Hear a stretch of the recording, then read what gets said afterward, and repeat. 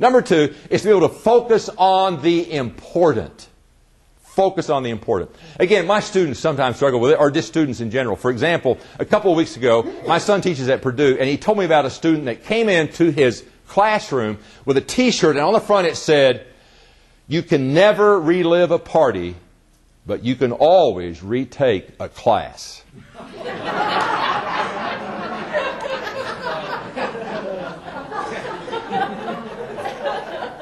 Now, I'm not sure if he were focusing on what I would consider important, but for him, that was what was going on.